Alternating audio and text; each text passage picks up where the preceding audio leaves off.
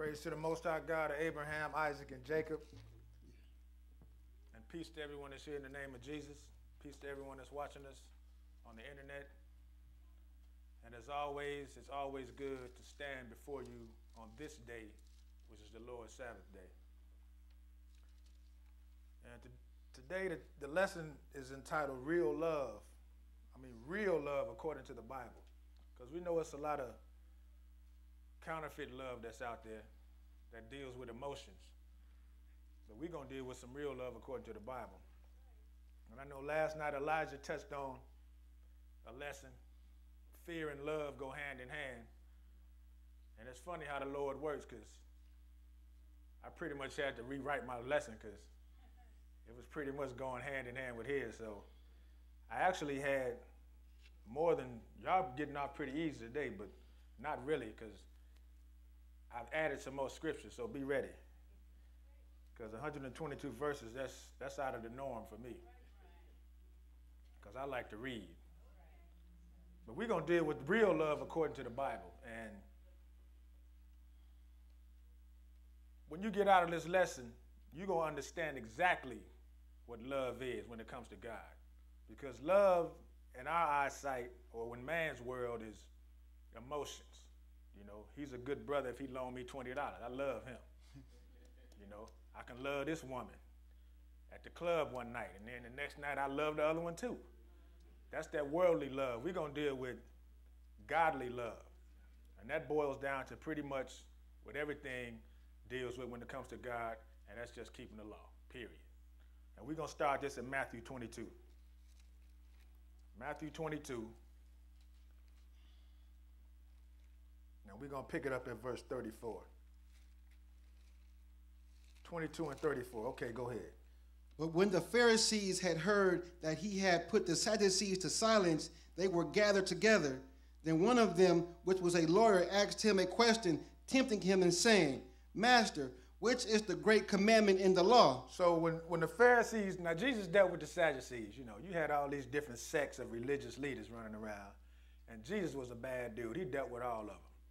He didn't take no prisoners. He didn't have no mercy. He cut them straight to the bone with doctrine.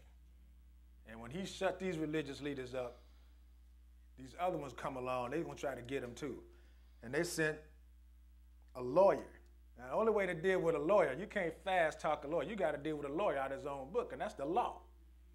And Jesus wrote the law, so they sent a lawyer to him to try to tempt him, asking him, Master, which is the great commandment in the law? And what did Jesus tell him? Go ahead. Jesus said unto him, Thou shalt love the Lord thy God with all thy heart and with all thy soul and with all thy mind. So, what did Jesus do when he dealt with a lawyer?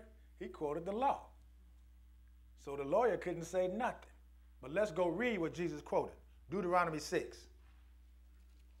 Because he told him, Look, the first, the great commandment in the law is to do what? Love the Lord thy God with all thy heart, with all thy soul, and with all thy mind. Now, the question is people love the Lord, but how do you love them? It's got to be some stipulation how you love somebody. If you beat somebody, that ain't love. If you disobey them, that's not love either. But according to the greatest commandment, we have to love God. We're going to find out how we love God. But let's see what Jesus quoted. Deuteronomy 6, and we're going to start at verse 4. I'm going to throw that the one before that in there. That's just one of the extra verses, if you keep in count. Deuteronomy 6, and we're going to start at verse 4. Go ahead. Hear, O Israel, the Lord our God is one Lord. And thou shalt love the Lord thy God with all thine heart, with all thy soul, with all thy might. So this is the same scripture that Jesus quoted for that lawyer. It was about the law. Loving the Lord your God with all your heart, with all thy soul, and with all thy might. And all your might is your strength. You're supposed to love God with every ounce of strength you have. I don't care how weak you are. If you, whatever weak, if you're still breathing, you got enough strength to love the Lord. Now let's go to Exodus 20 and let's see how you love the Lord. Exodus 20.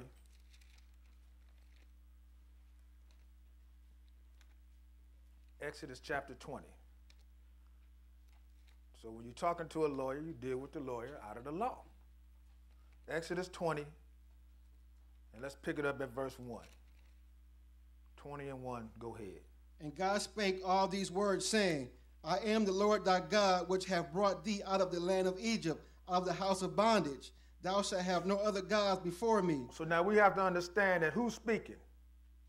First verse says God is speaking. So God is speaking all these words to the children of Israel, telling them, I am the Lord thy God, which have brought thee out of the land of Egypt, out of the house of bondage. Go ahead. Thou shalt not make unto thee any graven images or any likeness of anything that is in heaven above, or that is in the earth beneath, or that is in the waters under the earth. Thou shalt not bow down thyself to them, nor serve them. For I, for I, the Lord thy God, am a jealous God, visiting the iniquity of the fathers upon the children unto the third and fourth generation of them that hate me. So now we see what hate, God, hating God comes in at when you don't do what He say. When you put another God before the one true living God, He says that's hate. That is true hate. Thou shalt have no other gods before me, because I'm a jealous God. I do not want you to have anybody before me. Because if you do, you're telling me that you hate me. Because that's the flip side of love is hate. Go ahead. And showing mercy unto thousands of them that love me and keep my commandments. So that's where the love of God comes in at. You keeping his commandments.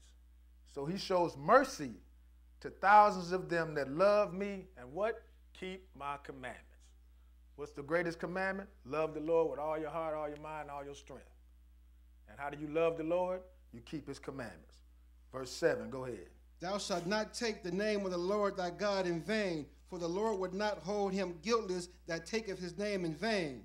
Remember the Sabbath day to keep it holy. Remember the Sabbath day to keep it. That's how you please God too. You keep remember his Sabbath day and you keep it holy. And how do you keep it holy? That's a whole nother lesson. We can do a whole lesson on the Sabbath day, but one thing he told you to do is remember it. And how do you remember it? You have a holy gathering, you come together. And that's what we're doing this day. Go ahead. Six days shalt thou labor and do all thine work, but the seventh day is the Sabbath of the Lord thy God. In it thou shalt not do any work, thou nor thy son, nor thy daughter, thy manservant, nor thy maidservant, nor thy cattle, nor thy stranger that is within thy gates. For in six days the Lord made heaven and earth, the sea, and all that is therein, and rested the seventh day. Wherefore the Lord blessed the Sabbath day and hallowed it. So the Lord blessed the Sabbath day and hallowed it. And this day is so important to God that He gave Israel one chance to let them off the hook. He said, I will forgive everything that you've done. Just keep my Sabbath day. I mean, they had done so much idolatry that the Lord was fed up with them. But He just gave them a shot. Look, just keep my Sabbath day and I'll give you a pass. But you know, Israel, they didn't even go for it. That's why we in this got kicked out the land, and we sitting right here in America this day. Go to Deuteronomy 5. Deuteronomy chapter 5.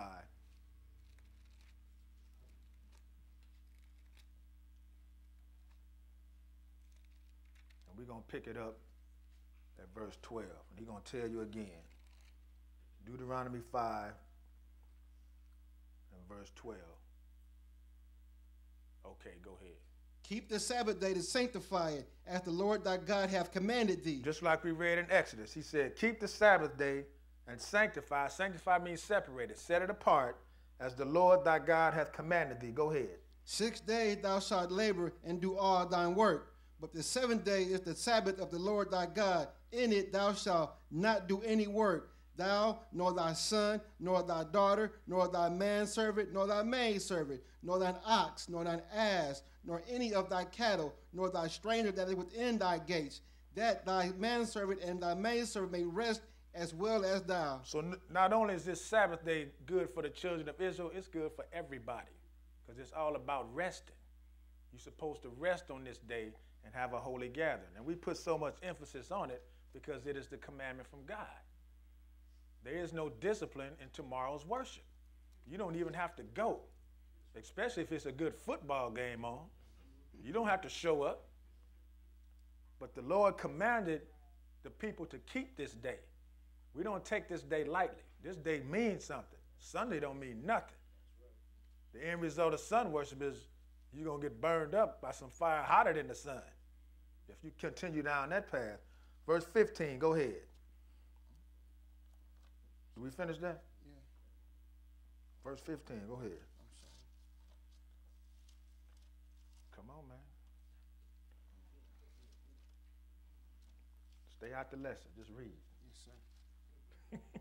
and remember that thou was a servant in the land of Egypt, and that the Lord thy God brought thee out thence through a mighty hand and by a stretched out arm, Therefore, the Lord thy God commanded thee to keep the Sabbath day. Therefore, the Lord thy God commanded thee to keep the Sabbath day. He told us again. Let's go to John 14. John chapter 14. So we see, according to these scriptures, how do we love the Lord your God, thy God, with all your strength? You simply do what he says. It's so simple. It is not hard to do what God says. People just make it hard. It ain't that hard. I heard this one false prophet say that the Sabbath day was a sign between God and the children of Israel. They got Saturday, we got Sunday. Read to me what a sign, what Sunday is a sign between God and his people. You can't read it. But there's no discipline in sun worship. John 14, let's see what Jesus said. Okay, verse 15, go ahead. If you love me, keep my commandments. Now, this is Jesus talking, right? It's in red, so we got to go with it. It's got to be Jesus. And he said, If you love me, keep my commandments. Just like he told that lawyer, love is what? Love God with your whole heart, your whole strength, and your whole mind, and your whole soul. That's love. So Jesus said, If you love me, which a lot of people claim they do, but they stop there. I love Jesus, but how do you show Jesus you love him? You don't do nothing he say. Because we can read in the script what Jesus told him, why calleth me Lord, Lord, and you don't do nothing I say. So apparently, if you don't keep the commandments, that means you don't love Jesus. I don't care what you do. If you don't keep the commandments, you are not loving Jesus. Skip down to verse 21. Go ahead. He that hath my commandments and keepeth them, he it is that love me. And he that loveth me shall be loved by my Father, and I will love him and will manifest myself to him. See all this love? How all this love and keeping the commandments go hand in hand? Jesus said, if you have my commandments and keep them, remember now, you, you just can't have them. You got to keep them, which means you have to do them. It says, He it is that loveth me, and he that loveth me shall be loved of my Father, and I will love him and will manifest myself to him. So this stuff is going hand in hand. If you love Jesus, you're going to keep his commandments. That means you're going to have his love, and not only that, but you're going to have the Father's love too. Skip down to verse 23.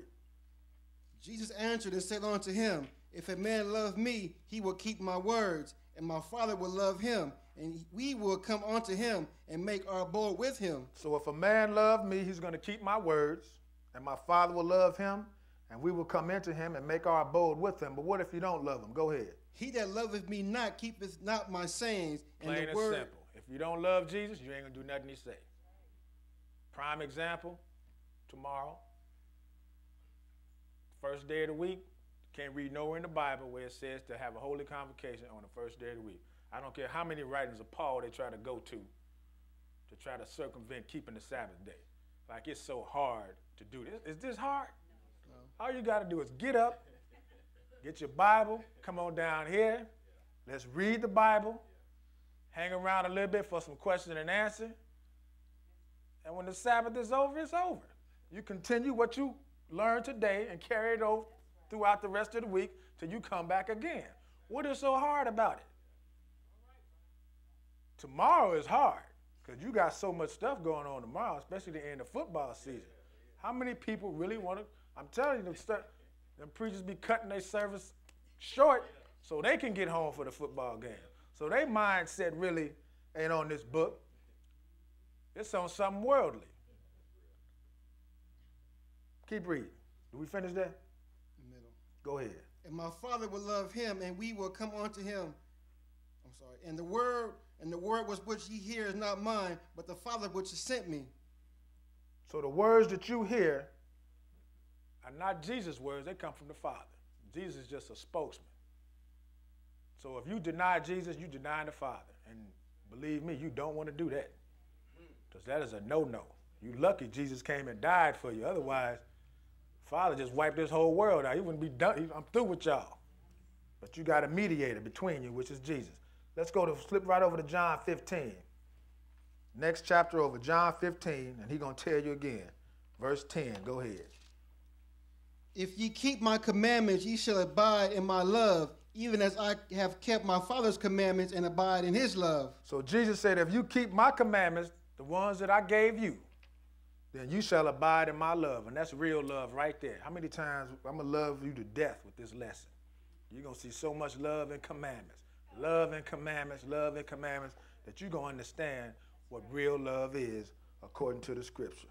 He says, If you keep my commandments, you shall abide in my love, even as I have kept my Father's commandments and abide in his love. So Jesus had to keep his commandments too from the Father. Let's go to um, 1 John 2. 1 John chapter 2.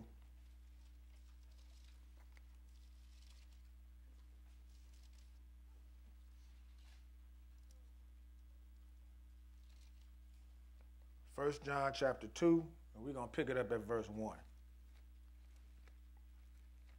And we're going to let the Bible speak. Go ahead.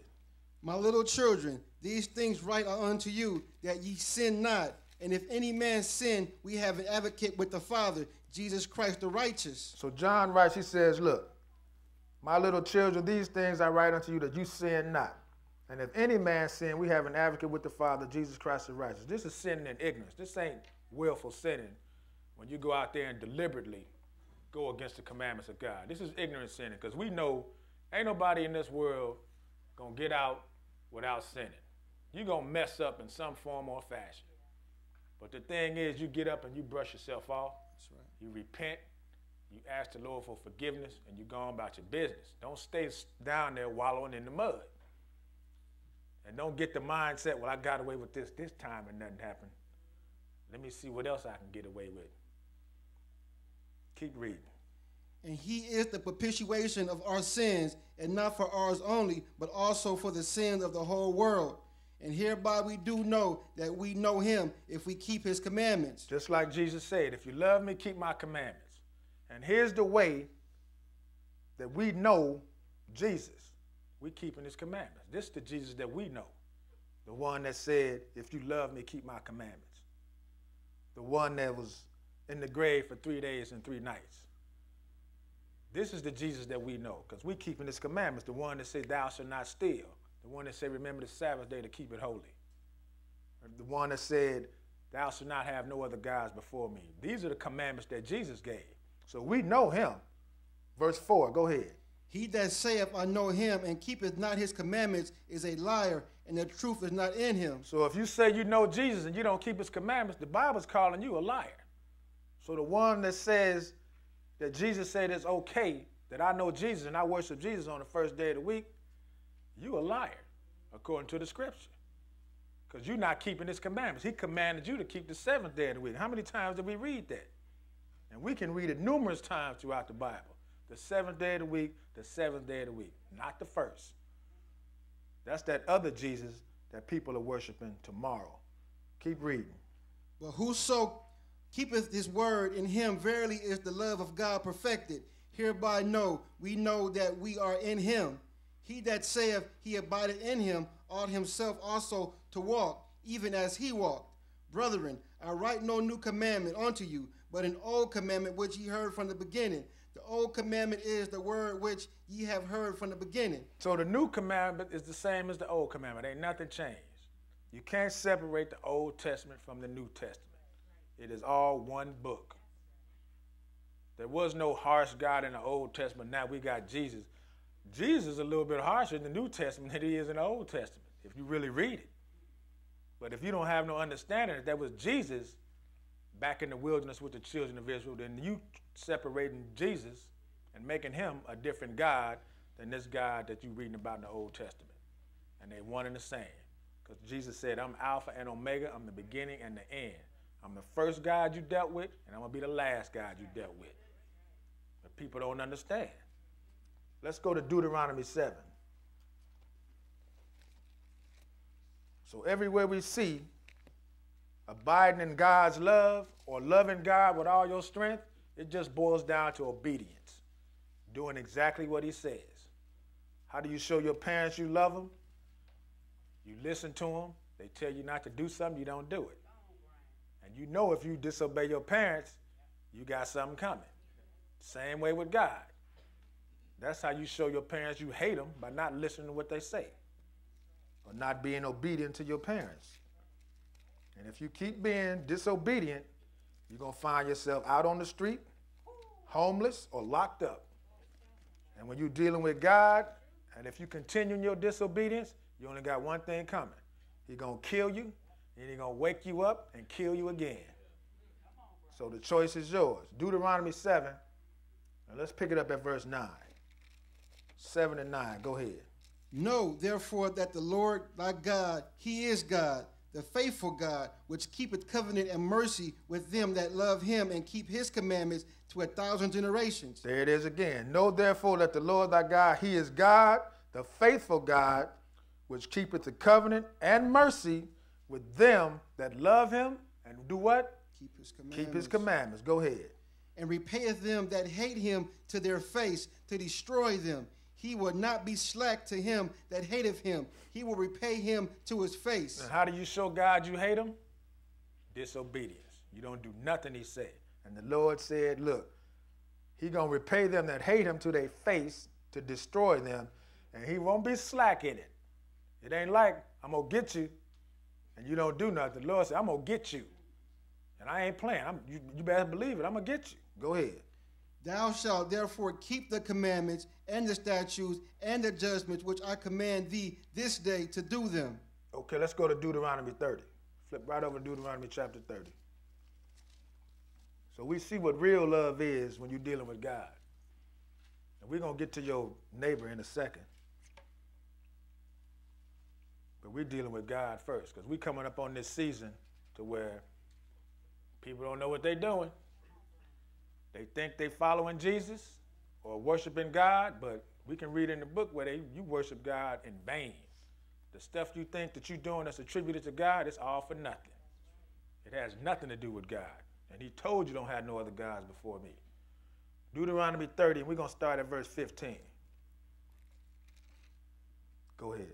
See, I have set before thee this day life and good, death and evil, and that I command thee this day to love the Lord thy God, to walk in his ways, and to keep his commandments and his statutes and his judgments, that thou mayest live and multiply. And the Lord thy God shall bless thee in the land whither thou goest to possess it. So he says, See, I have set before thee this day life and good, death and evil, and that I command thee this day to do what? Love the Lord thy God. And how do you do that?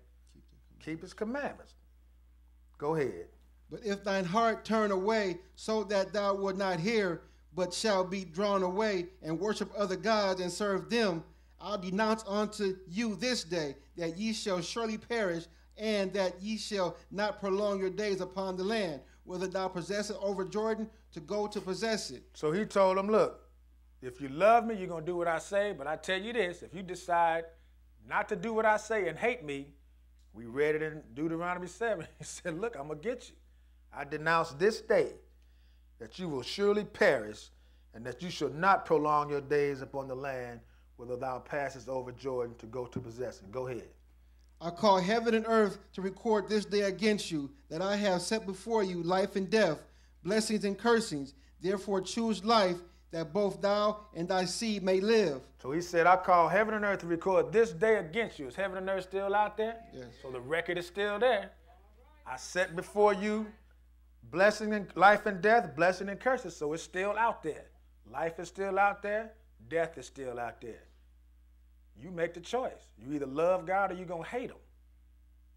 Choose one of them. Go ahead.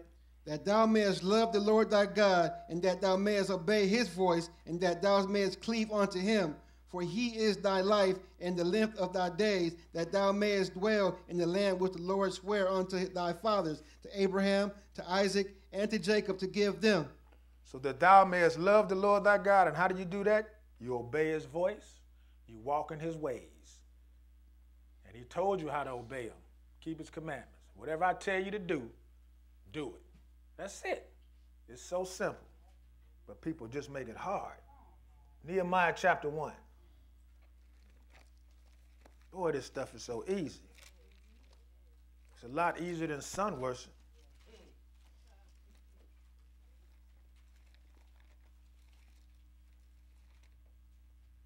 Nehemiah chapter 1.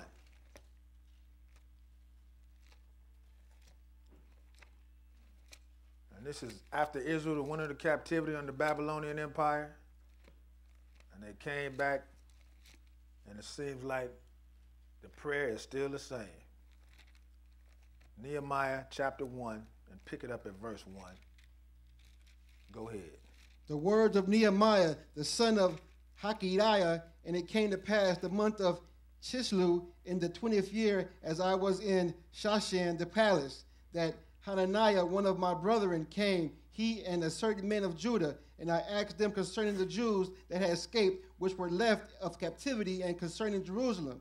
And they said unto me, The remnant that are left of the captivity there in the province are in a great affliction and reproach. The wall of Jerusalem also is broken down, and the gates thereof are burned with fire. And it came to pass, when I heard these words, that I sat down and wept, and mourned certain days, and fast, and prayed before God of heaven, and said, I beseech thee, O Lord God of heaven, the great and terrible God, that keepeth covenant and mercy of them that love him and obey his commandments. Observe. Observe his commandments. Go ahead, read that sixth verse. Let thine ear now be attentive, and thy eyes open, that thou mayest hear the prayer of thy servant, which I pray before thee now, day and night, for the children of Israel, thy servants, and confess the sins of the children of Israel, which we have sinned against thee. Both I and my father's house have sinned. So how did they sin against God? They didn't keep his commandment. That's why they got kicked out of the land. So Nehemiah is doing some heavy praying. But he said in verse 5, I beseech thee, O Lord God of heaven, the great and terrible God that keepeth the covenant and mercy for them that love him and observe his commandments. So see how love and obedience go hand in hand? Especially when it comes to God. Let's go to um, Joshua 22. Back right up to Joshua 22. So when Jesus answered that lawyer's question, the first, the greatest commandment in the law is to love God with your whole heart, your whole mind, and your whole soul, and all your strength. And this is how you do it by obeying his voice, walking in his ways, which sums up keeping his commandments. How do you obey somebody's voice if you don't know what they're saying? Joshua 22, and pick it up at verse 1. Go ahead. Then Joshua called the Reubenites and the Gadites and the half the tribe of Manasseh and said unto them, Ye have kept all that Moses, the servant of the Lord, commanded you, and have obeyed my voice in all that I command you. Ye have not left your brethren these many days until this day, but have kept the charge of the commandment of the Lord your God.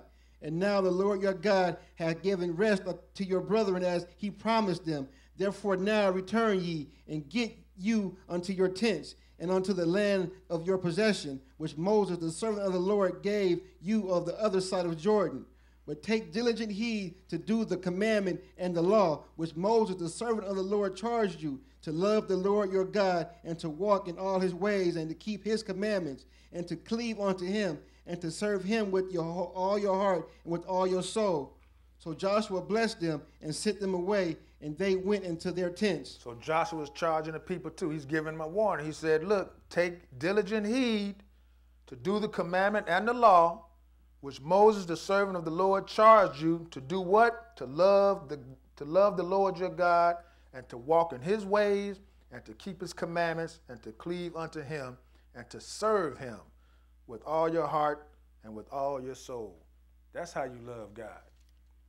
With all your heart and with all your soul. You keep his commandments. Psalm 18. Psalm 18. And this lesson is nothing but jabs and right crosses. That's it. And the knockout punches at the end. We ain't sticking and moving or nothing. We just jabbing, jabbing, steady blows to the head. If you can't read this, I'm sorry, you got a problem. Psalm 18, we're going to read one verse. Verse 1, go ahead. I will love thee, O Lord, my strength. I will love thee, O Lord, my strength. You're supposed to love the How do you love the Lord? You keep his commandments, and he said it's gonna prolong your days. You're gonna have length of life. I will love thee, O Lord, my strength.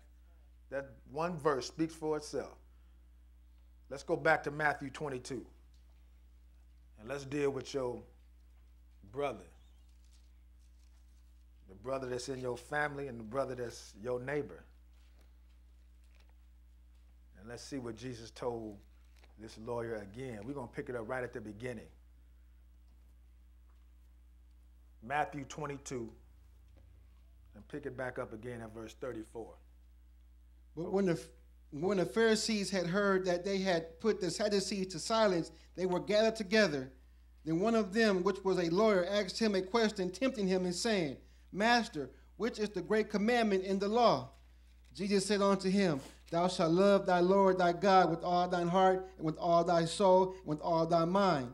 This is the first and great commandment. So we just covered the first and great commandment about loving God, and we know how to love God. All the scriptures we just read, how do you love God? You keep his commandments. You obey his voice, walk in his ways, his statutes. That is real love of God. Go ahead. And the second is like unto thou shalt love thy neighbors as thyself. And the second greatest commandment in the law is what? Love your neighbor as yourself. Or to paraphrase it, do unto others as you had them do unto you. Love your neighbor as yourself. Whatever you want, Whatever you not want to be done to your neighbor, you won't do it to yourself. You treat your neighbor like you want you, like you want to be treated. You don't steal. If you don't want nobody to steal from you, don't steal from your neighbor. You don't want nobody to beat you up, don't beat your neighbor up. It even goes within the household. You don't want to get beat up, don't beat up your wife. Don't fight amongst your brothers. Love your neighbor as yourself. Go ahead. On these two commandments hang all the law and the prophets. So on these two commandments, they didn't take took this script right here and have thrown out all ten and said, we just need to do this. Just love God and love your neighbor. But how do you do that? You keep the commandments. And if you love your neighbor, you ain't gonna steal from them. You ain't gonna kill them. You ain't gonna lie on them. And we're gonna read that. I'm jumping the gun a little bit. I'm getting ahead of myself. So Jesus quoted out of the law to this lawyer. Because that's how he dealt with that lawyer. He quoted the law. So let's go read what Jesus quoted to this lawyer. Leviticus 19.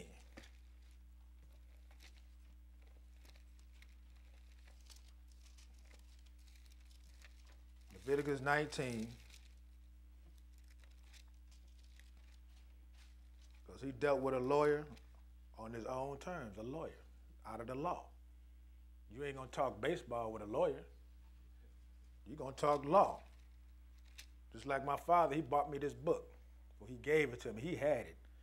It's about how to cheat in cards. And he didn't give it to me just to cheat on people. He gave it to me to keep the cheat off of me, to spot when somebody else is doing it, because it's easy. It's not how to cheat, it's like card tricks. he just pulls the cover off the people that's doing the card tricks. So I know the con already. Because I done read the book. So how do you deal with a con man? Through confidence. Leviticus 19 and verse 18. Read that verse. Go ahead. Thou shalt not avenge nor bear any grudge against the children of thy people, but thou shalt love thy neighbor as thyself. I am the Lord. So don't hold no grudge against your brother. You're supposed to love him as yourself. If you got anything against your brother, you better settle it right now because you can't be up here on the Sabbath day thinking you're serving God and you got a problem with somebody out there. You cannot love God that you don't see and hate your brother that you see every day. And that's in the book. Now let's go to um, Romans 13. So the Bible says, Love your neighbor as yourself. And how do you love your neighbor as yourself? We're going to read it. We're going to let the Bible speak. Romans 13, we're going to read one verse. And Paul going to tell you the same thing. Romans 13, and pick it up at verse 8. Okay, go ahead. Oh no man anything but to love one another. Oh man, anything but to love one another. And how do you love one another? Go ahead. For he that loveth another hath fulfilled the law. So he that loves your neighbor as yourself, you have fulfilled the law. You have fulfilled the law if you loving your neighbor. And how do you love your neighbor as yourself? You keep the law. Let's go to John 15. Back to John 15.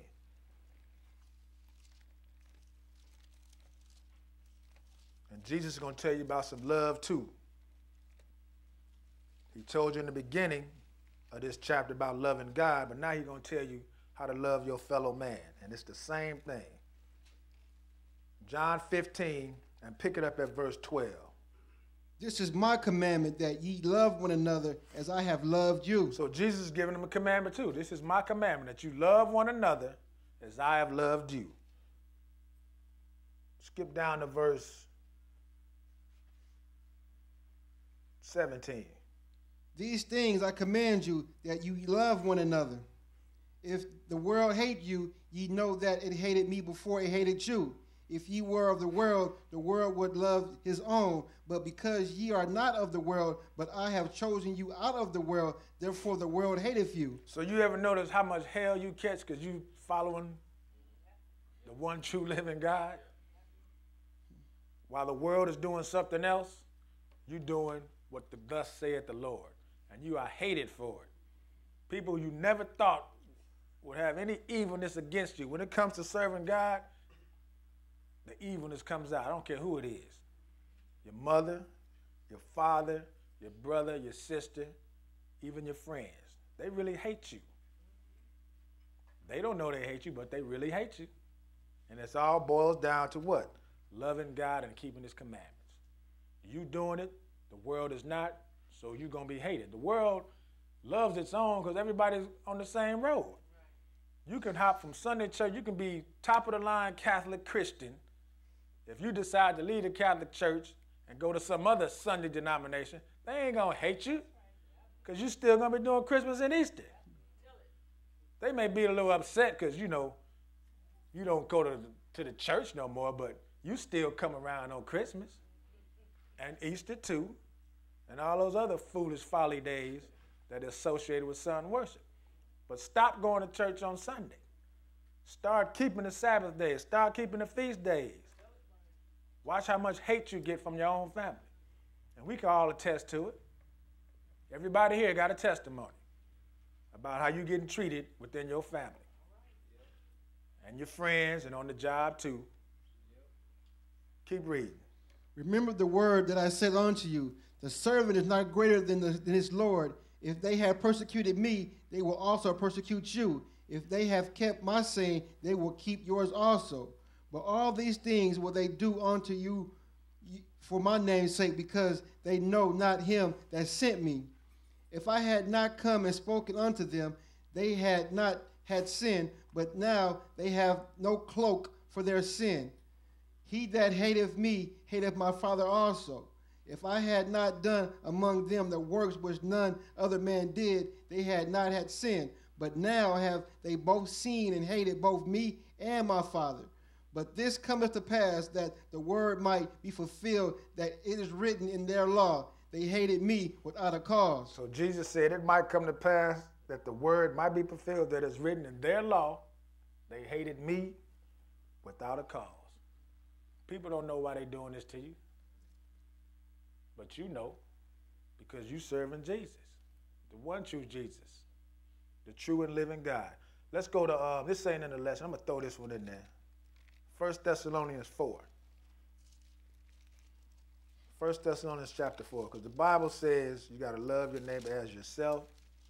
Jesus said to love one another. But let's see how you do that. 1 Thessalonians chapter 4.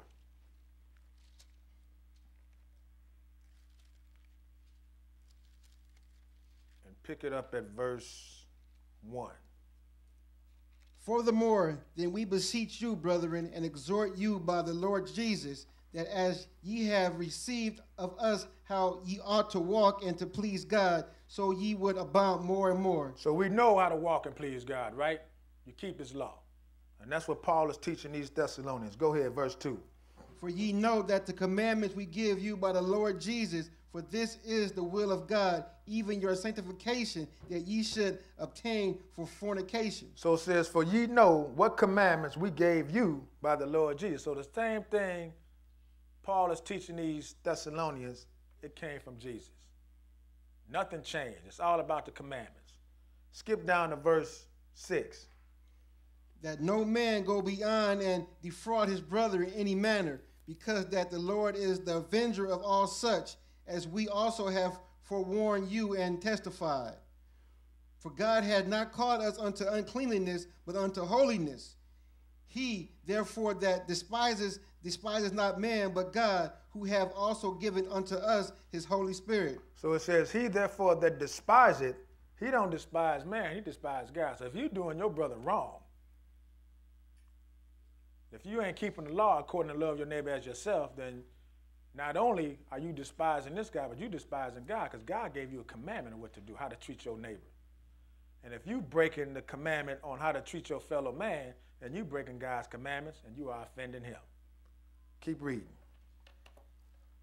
But also touching brotherly love, ye need not that I write unto you, for ye yourselves are taught of God to love one another. But as for touching brotherly love, you need not that I write unto you, for you yourselves are taught of God to do what? Love one another.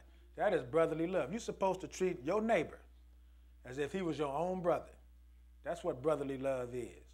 Treat your own neighbor as if he was your own brother. Now, if you don't, if you treat your brother crazy, you ain't got no problem treating somebody in the street crazy. So let's look at it. Genesis chapter 4. It's just a couple of examples that I threw in because this lesson is too short, man. So we're going to stretch it out a little bit. Genesis chapter 4. And let's look at some brotherly love. Genesis chapter 4.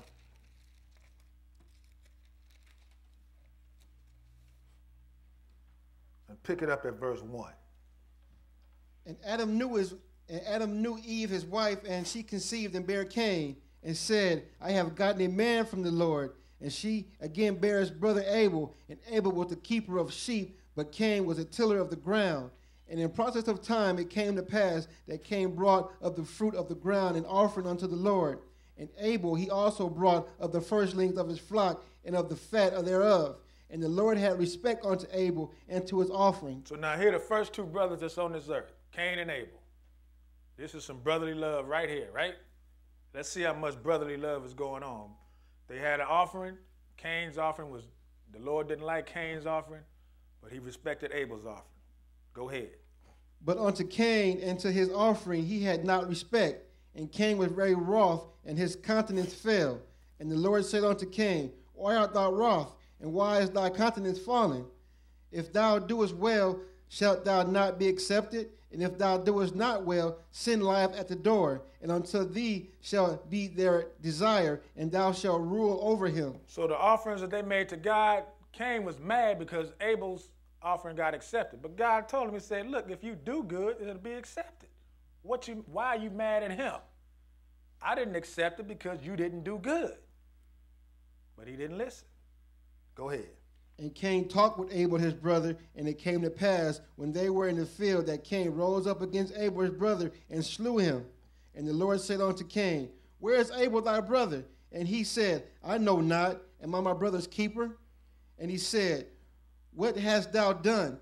The voice of thy brother's blood cried out from the ground. So now, if this is a, if he was dealing with some true brotherly love, he wouldn't have killed his brother. And if murder was good, he wouldn't have said, I don't know. Am I my brother's keeper? So we see the law was still in effect way back when. Thou shalt not kill. Show some brotherly love. You don't kill your brother. That's crazy. Keep reading. And now art thou cursed from the earth, which hath opened her mouth to receive thy brother's blood from thy hand. When thou tillest the ground, it shall not henceforth yield unto thee her strength. A fugitive and a vagabond shall thou be in the earth. And Cain said unto the Lord, My punishment is greater than I can bear. Okay, that's good on that. So Cain killed his brother. And now you got to get the repercussions for it. You just can't kill nobody and get away with it. I mean, you can ask OJ that. Judges 9. Let's go to Judges 9. Let's see some brotherly love here.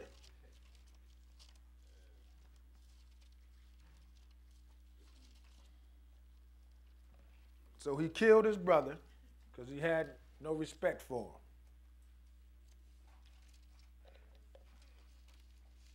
Go to Judges 9. And this guy here was just totally out of pocket. Judges chapter 9, and pick it up at verse 1.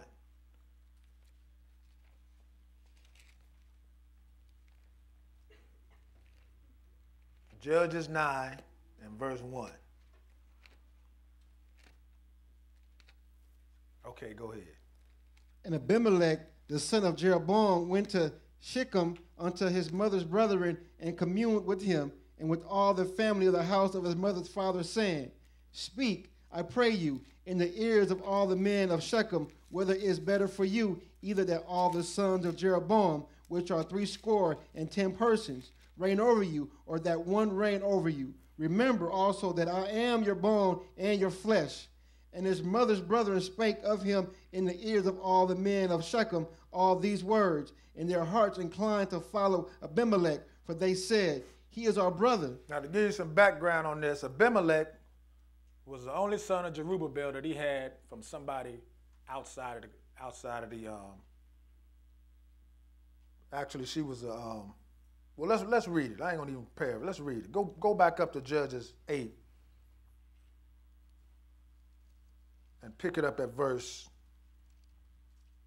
thirty-four. Go ahead. And the children of Israel remembered not the Lord their God, who had delivered them out of the hands of all their enemies on their side, neither showed their kindness to the house of Jerubbaal, namely Gideon, according to all the goodness which he had showed unto Israel. Okay, now go ahead and start in the verse chapter one. Go ahead. Nine and one. Go ahead. And Abimelech, the son of Jeroboam, went to Shechem unto his mother's brethren and communed with them and with all the family of the house of his mother's father, saying, Speak, I pray you, in the ears of all the men of Shechem, whether it is better for you, either that all the sons of Jeroboam, which are threescore and ten persons, reign over you, or that one reign over you. Remember also that I am your bone and your flesh. And his mother's brethren spake of him in the ears of all the men of Shechem all these words, and their hearts inclined to follow Abimelech, for he said, He is our brother.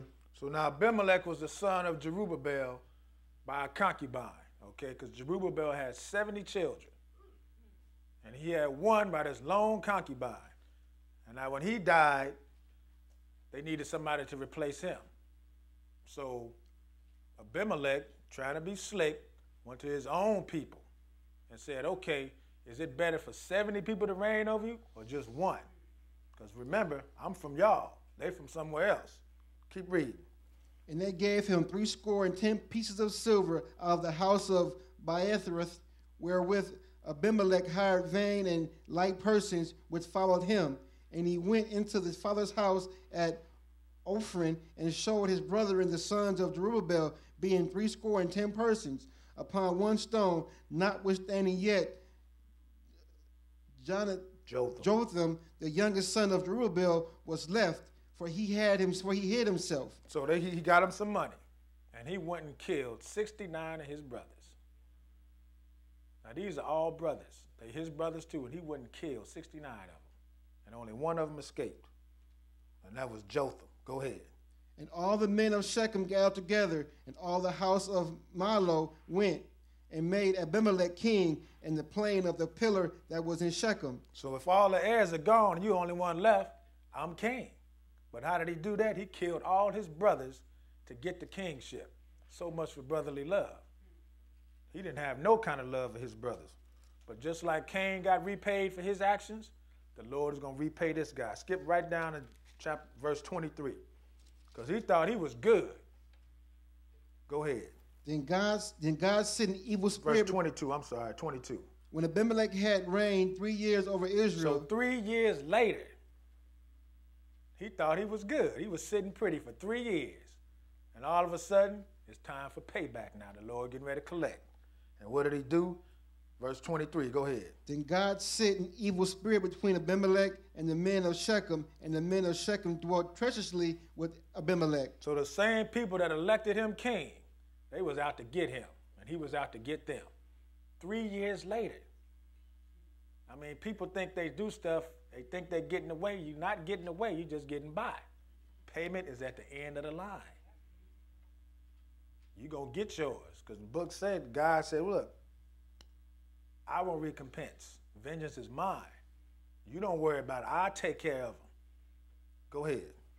That the cruelty done to the threescore and ten sons of Jerubbaal might come, and their blood be laid upon Abimelech their brother, which slew them, and upon the men of Shechem, which aided him in the killing of his brethren. So now this dude, they ended up fighting amongst each other, and he ended up getting his head split. Now let's go to 1 Samuel. Now this is brotherly love amongst each other, so-called brotherly love. They're killing each other. But let's look at your neighbor, who you're supposed to treat as your brother as well. So if you don't have no love and, and, and kindness towards your brother, the person that's out on the street, you ain't gonna care for them either. So let's look at David. 1 Samuel chapter 11.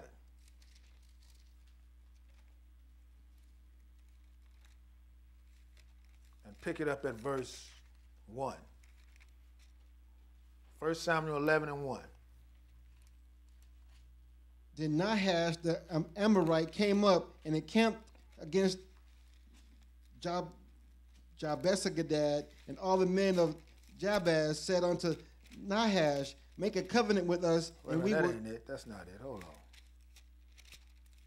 I think it was Second Samuel. Yeah, Second Samuel 11. Y'all should have known that. You know I was talking about David and Bathsheba. How come y'all didn't say nothing? Second Samuel 11. Okay, go ahead. And it came to pass after the year was expired, and at the time when kings go forth to battle, that David sent Joab and his servants with him and all Israel, and they destroyed the children of Ammon and besieged Re- Re- Rebeth. But David tarried still at Jerusalem, and it came to pass at an evening evening tide that David arose from off his bed and walked upon the roof of the king's house, and from the roof of the saw a woman washing herself, and the woman was very beautiful to look upon.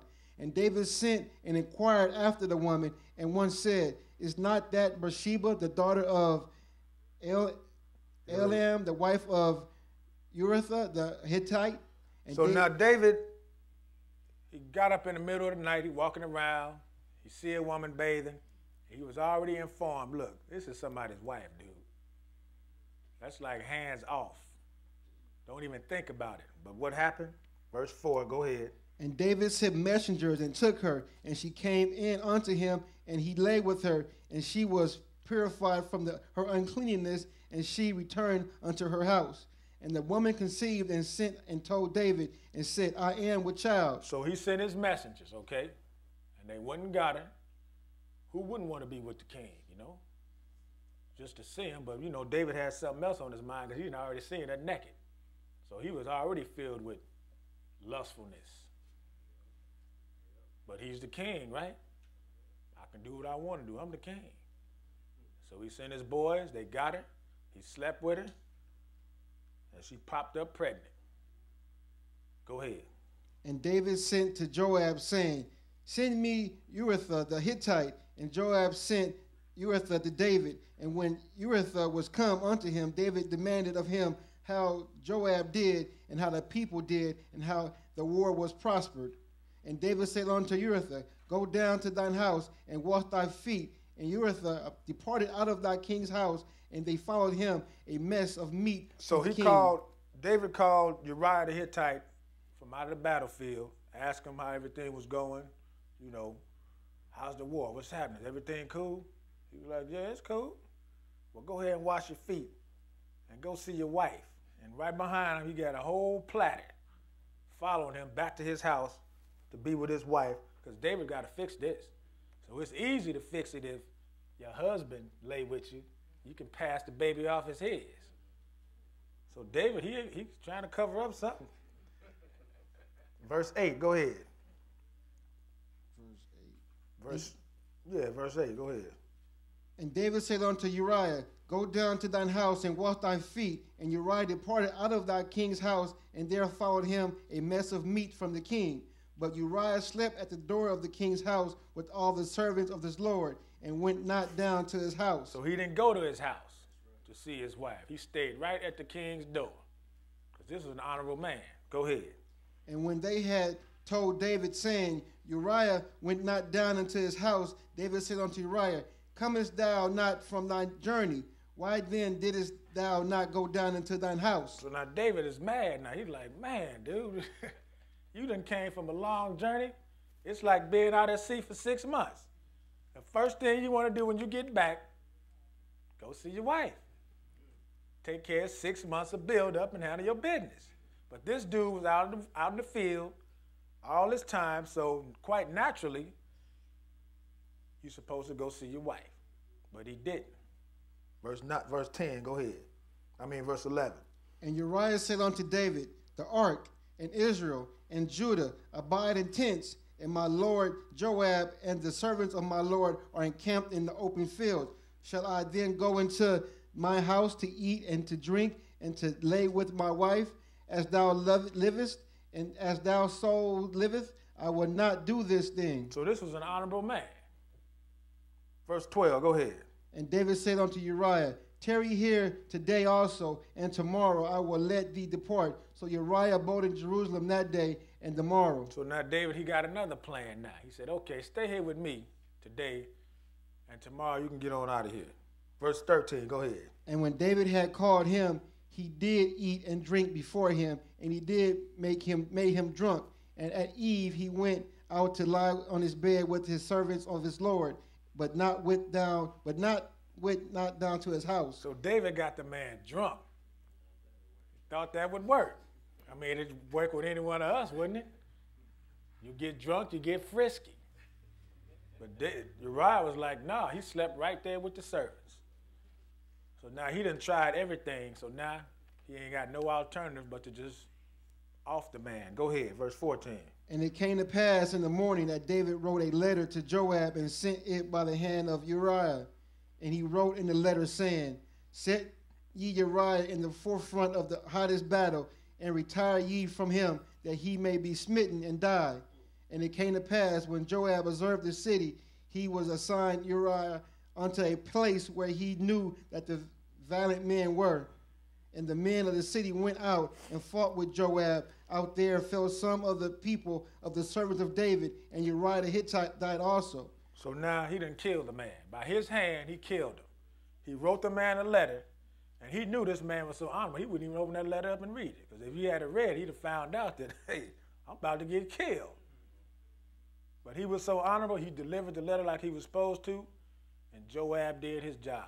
Put him out in the front line of the hottest battle, draw back, and let him get killed. So now David done killed this man. First he done slept with his wife. Now he done killed the man to make everything as cool. So much for brotherly love towards your neighbor. Let's go right into 2 Samuel 12, because the Lord weighed in on it, because you can't get away with this. Flip right over to 2 Samuel 12 and pick it up at verse 7. Go ahead. And Nathan said to David, Thou art the man Thus saith the Lord God of Israel I anoint thee king over Israel, and I delivered thee out of the hand of Saul. And I gave thee thy master's house and thy master's wives into thy bosom, and gave thee the house of Israel and of Judah. And if that had been too little, I would have moreover have given unto thee such and such things. Wherefore hast thou despised the commandment of the Lord to do evil in his sight? So he said, Wherefore hast thou despised the commandment of the Lord? And what is the commandment of the Lord concerning your neighbor? Thou shalt not kill, thou shalt not commit adultery. He despised the commandment of the Lord to do evil in his sight. Go ahead. Thou hast killed Uriah the Hittite with the sword, and hast taken his wife to be thine wife, and hast slain him with the sword of the children of Ammon. Now, therefore, the sword shall never depart from thine house, because thou hast despised me, and hast taken the wife of Uriah the Hittite to be thine wife. Thus saith the Lord, Behold, I will rise up evil against thee out of thy, own house, and I will take thy wives before thine eyes, and give them unto thy neighbor, and he shall lie with thy wives in the sight of his son, of this son. For thou didst it secretly, but I will do this thing before all Israel and before the sun. So you see the consequence of what David did? Now his whole house is in turmoil. And we don't have time to read everything that happened to him, but you can read it on your own. His whole household was messed up. His son ran him out of town. His son slept with his wives. One son killed the other son because he raped his sister. I mean, if that ain't turmoil within your household, I don't know what is. And David walking around, what happened? You know what happened. Keep reading. And David said unto Nathan, I have sinned against the Lord. And Nathan said unto David, The Lord also hath put away thy sin. Thou shalt not die. So you see how serious this was? David was on the chopping block for this. You can't give him a pass because and stone somebody else. He was on a chopping block for this. Go ahead. Howbeit, because by this deed thou hast given great occasion to the enemies of the Lord to blaspheme the children also that is born unto thee, sure, so shall surely die. And Nathan departed. That's good on that. The child shall surely die. So the baby that he had with Bathsheba, the Lord killed it. He killed that baby and messed up his whole household. His whole household suffered for what he did. He had no brotherly love toward his neighbor. He didn't love Uriah as he loved himself. He wouldn't want Uriah sleeping with his wives, so why did you sleep with his wife? Let's get back to the lesson now. Go to um, 2 John 2. And I might throw a few more in there too. It's still early. 2 John chapter 2.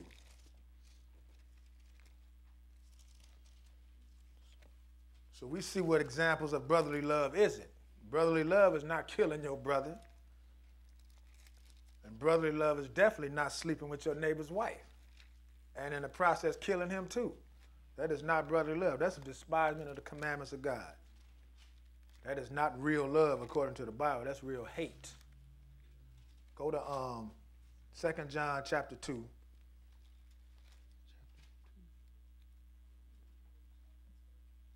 No, we read that already, didn't we? Did we read that? Go ahead. Second John 2 and pick it up at verse 1. Second John chapter 2.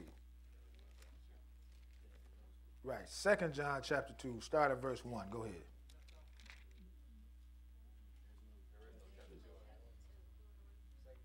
I mean, Second John, verse 1. The elder unto the elect lady and her children, whom I love in the truth, and not I only, but also all they that have known the truth, for the truth's sake, which dwelleth in us and shall be with us forever. Grace be with you, mercy and peace from the God the Father and from the Lord Jesus Christ, the Son of the Father, in truth and love. I rejoice greatly that I found of thy children walking in truth, as we have received a commandment from the Father. And now I beseech thee, lady, not as though I wrote a new commandment unto thee, but that which we had from the beginning, that we love one another. And this is love, that we walk after his commandments. This is the commandment, that as ye have heard from the beginning, ye shall walk in it. So John is saying the same thing. It's nothing new. It's the same commandment you heard from the beginning, that we should love one another. As this is the love, and this is love right here, that we walk after his commandments. That's real love. Walking after the commandments of God. Go to um, 1 Timothy chapter 1. And this is something that the world is totally messed up. 1 Timothy chapter 1.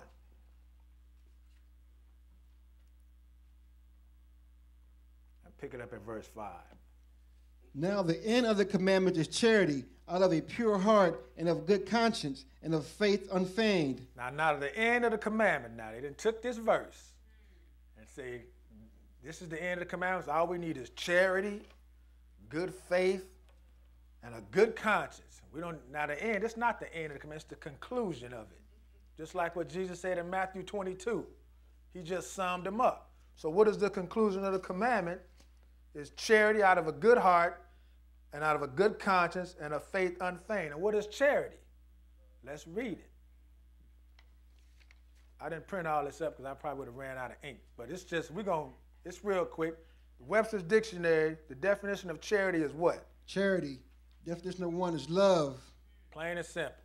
So we see charity is the same as love. And what is love according to the Bible? Keeping the law. So now we can read this verse again with some understanding. Now, the conclusion of the commandment is love out of a pure heart and of a good conscience and of faith unfeigned. What is faith? Your belief. It's not wavering, it's going to be strong.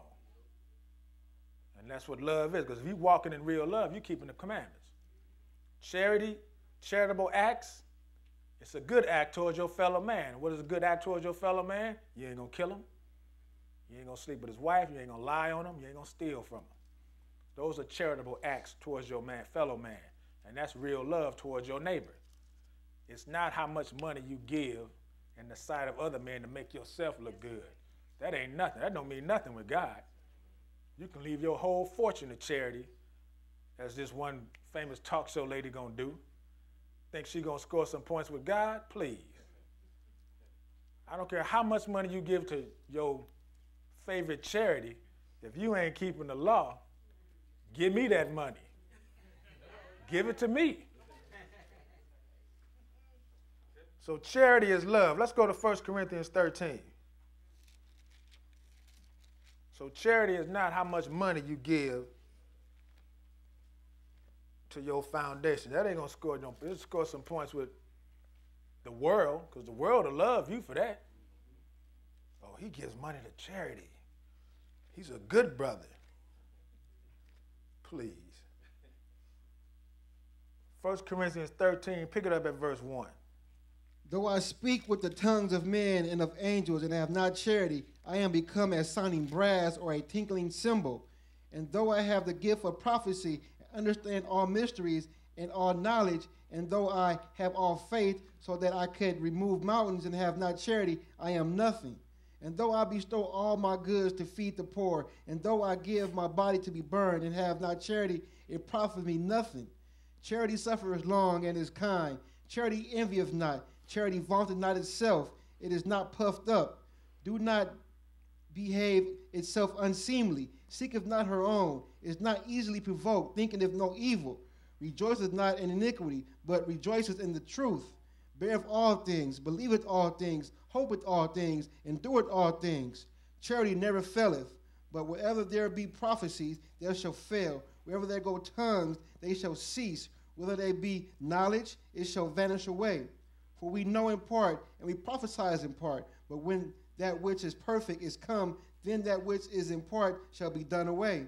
When I was a child, I spake as a child. I understood as a child. I thought as a child. But when I became a man, I put away childish things. For now we see through a glass darkly, but then face to face. Now I know in part, but then I shall know even as even also I am. And now by the faith, hope, charity, these three, but the greatest of these is charity. So this is the charity chapter, which is none other than love. Because it says what? Charity suffers long, is kind, it don't envy, it vaunteth not itself, it's not puffed up, it doesn't behave itself unseemingly. It doesn't rejoice in iniquity. Love, real love, which is keeping the law, you can't rejoice in iniquity because that's despising the commandments of God. So charity is real love. Let's go to um, Galatians, 1 Peter 4. I mean, Colossians 3. We almost done. We're about to wrap it up. Colossians 3. So we see charity and love go hand in hand. But not in today's world.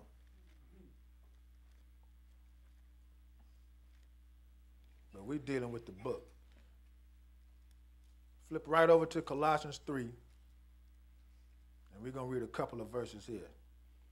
Colossians 3, and we're going to pick it up at verse 12. Go ahead. Put on, therefore, as the elect of God, holy and beloved, bowels of mercies, kindness, humbleness of mind, meekness, long suffering, forbearing one another, and forgiving one another. If any man have a quarrel against any, even as Christ forgave you, so also do ye. And above all these things, put on charity, which is bond of perfectness. Perfect, perfectness. Perfectness. And above all things, put on charity, which is what? The bond of perfectness. That is real love right there. Because it says, look, forbearing one another and forgiving one another. If any man have a quarrel against you, against any, even as Christ forgave you, so also do ye. What did Christ tell you? To love one another. If you love one another, then you're going to abide in my love, and you're going to abide in the Father's love as well. That is loving your neighbor as yourself. You got a problem with somebody? Settle it, and let's be done with it. Ain't no sense in getting mad, sitting up here mad at each other. The Bible says, don't let the sun set on your anger. You settle it and be done with it. Let's go to um, 1 Peter 4. So charity is the bond of perfectness. In other words, love. That is real love right there. 1 Peter chapter 4. And we're going to pick it up at verse 7. 1 Peter 4 and verse 7. Okay, go ahead. But the end of all things is at hand. Be ye therefore sober and watch unto prayer. And above all things, have fervent charity among yourselves, for charity shall cover the multitude of sins. So you're supposed to have fervent charity. That means some. What's fervent? That's. You're supposed to be loving it. I mean, just it's burning up inside you. Charity amongst who? Amongst yourselves. For charity shall cover a multitude of sins. Go ahead. Use hospitality one to another without grudging. Use hospitality. Be hospitable towards each other. That is loving one another, being hospitable. You know, open the door for somebody. Give them your last piece of chicken if they need it. Don't ask me for it though. but go ahead. As every man hath received a gift, even so minister the same one to another as good stewards of the manifold grace of God. Okay, let's go to Galatians. And all this stuff is dealing with charity, and you see what charity, charity is. It's the same thing as love and it's keeping the law. Bottom line. Just like we read in Romans 13, verse 8, owe no man nothing but love, for love is fulfilling of the law. Galatians 5.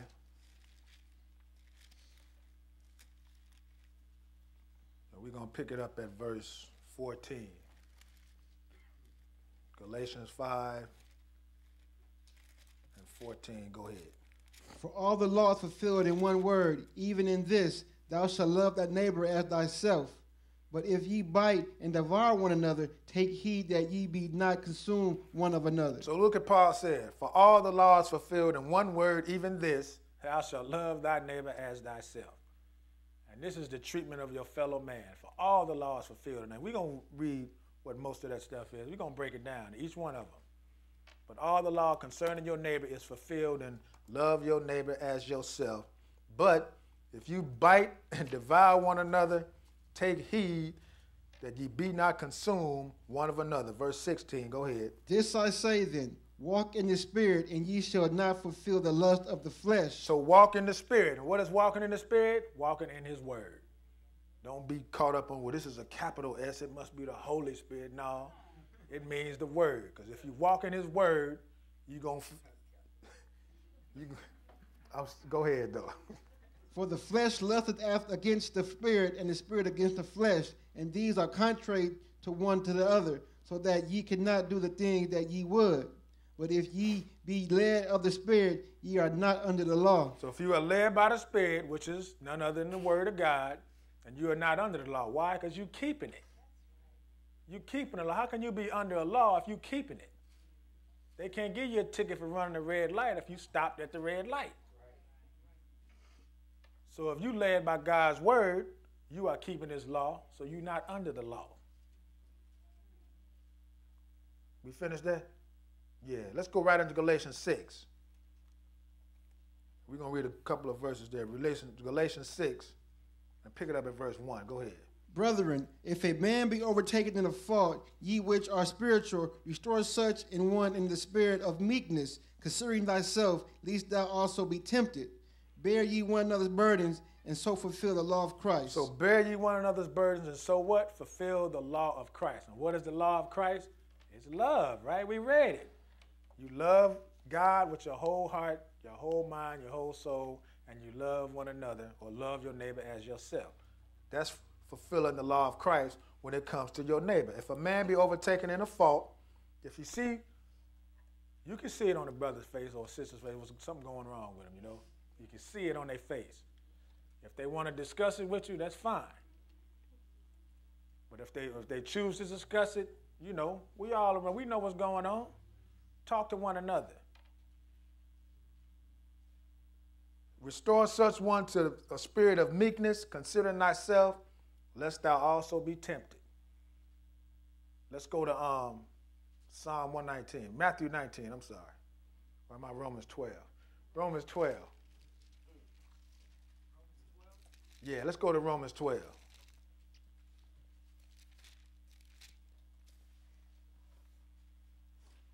We're going to pick it up at verse 14. Romans 12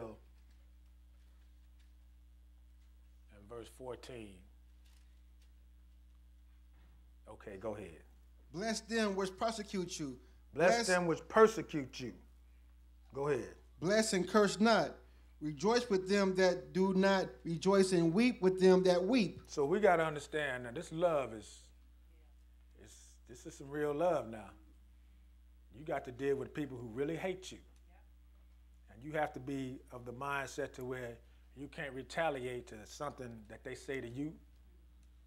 You got to be meek and humble, but then again, you can't be no fool either. Keep reading. Be of the same mind one toward another. Mind not high things, but consider to men of low estate. Be not wise in your own concerns. Conceits. Conceits, I'm sorry. Recompense to no man evil for evil. Provide things honest in the sight of all men. So don't repay somebody do you wrong. You can't turn around and do them wrong either. Why? Because you are not fulfilling the law of Christ when you do that. You let the Lord deal with them. Because anytime somebody's messing with one of the Lord's servants, believe me, he will take care of them. He will get them. You just don't take matters into your own hands. Otherwise, you're going to be in trouble. Go ahead. If it be possible, as much as lieth in you, live peaceably with all men. If it be possible, as much as lieth in you, live peaceably with all men. If it be possible, if it be possible, you live peaceably with all men. Keep reading. Dearly beloved, avenge not yourselves, but rather give place unto wrath, for it is written, Vengeance is mine, I will repay, saith the Lord. Therefore, if thy enemy hunger, feed him. If he thirst, give him drink. For in so doing, thou shalt heap coals of fire on his head. Be not overcome of evil, but overcome evil with good. Okay, let's go to uh, Matthew 19. Matthew 19. So all this good love we've been reading about, it all boils down to keeping the law. You love God, you keep the commandments. You love your fellow man, keep the commandments. And those are good things to do. Because the Bible says the law is good and the commandment good and holy and just and good too. There's nothing wrong with it. Matthew 19, and pick it up at verse 16. And behold, one came and said unto him, Good master, what good thing shall I do that I may have eternal life? So this young man asked Jesus, What good thing must I do? Simple question. He's going to give him a simple answer. Go ahead. And he said unto him, Why callest thou me good? There is none good but one, that is God. But if thou wilt enter into life, keep the commandments. So he told him, look, he gave him a simple answer to a simple question. I want eternal life. What good thing must I do? The greatest good thing you can do is keep the commandments. Keep the commandments, and thou will enter into life. Go ahead. He said unto him, Which? Jesus said, Thou shalt do no murder, thou shalt not commit adultery, thou shalt not steal, thou shalt not bear false witness. Honor thy father and thy mother, and thou shalt love thy neighbor as thyself. Oh, so we know what loving your neighbor as yourself is, right? We see you don't commit adultery, you don't murder, you don't steal, you don't lie on them. Even within your household, you honor your parents. But to sum it up, thou shalt love thy neighbor as thyself. Just like he told that lawyer in Matthew chapter 22. That's the second greatest commandment. Love your neighbor as yourself. And what does that second greatest commandment consist of? How to deal with your fellow man. Nothing has changed. He just summarized it into one sentence. He took five commandments and summed them up into one. But they're still there. Let's go to Psalm 119. Psalm chapter 119. And we got one more place after this, maybe. Psalm 119, and we're going to read one verse.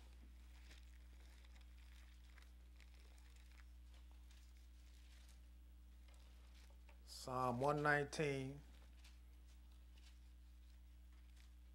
and read verse 165. Okay.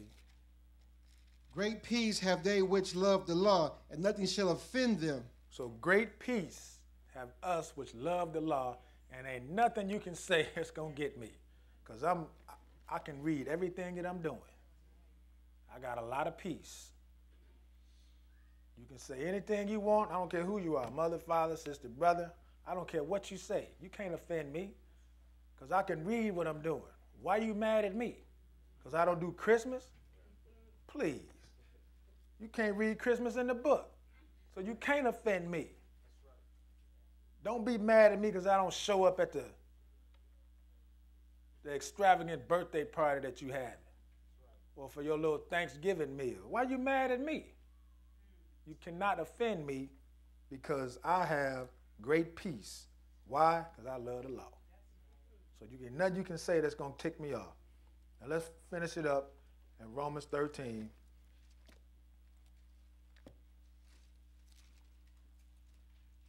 Romans chapter 13, and we're going to pick it up again at the beginning of verse 8. Romans 13 and verse 8. Okay, go ahead. Owe no man anything but to love one another, for he that loveth another hath fulfilled the law. So owe no man anything but to love one another, for he that loveth another hath fulfilled the law. Go ahead. For this thou shalt not commit adultery, thou shalt not kill, thou shalt not steal, thou shalt not bear false witness, thou shalt not covet. And if there be any other commandment, it is briefly comprehended in this saying, namely, thou shalt love thy neighbor as thyself. Love worketh no ill to his neighbor, therefore love is fulfilled, fulfilling of the law. So therefore, love is the fulfilling of the law, and that's real love according to the Bible. And I hope you got some understanding in Jesus' name. Amen.